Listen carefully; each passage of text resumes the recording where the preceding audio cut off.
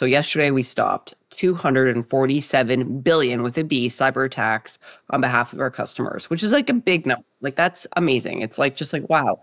And the way we did that is we've had to build a global network and what we've we've had to build a lot of infrastructure and it's it's super flexible so we can do a lot of things to help kind of help businesses in this modern modern modern day world that we operate in. But to do that it costs a lot of money. And so like that that costs a lot of money on our side. So to to we have capex costs, like capital expenditures, we have to write really awesome software.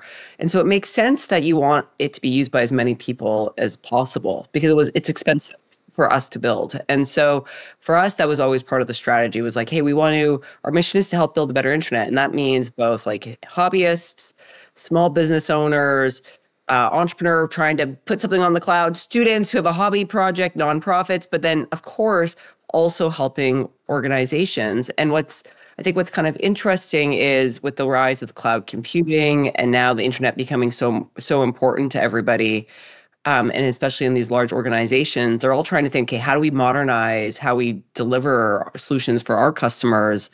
And again, we we have 15 years under our belt refining our products. So when the, the large organizations come and use it, they're like, "Wow, this is really good." And so it's always been part of the strategy. And and again, it, it just it's pretty cool to see it all come together.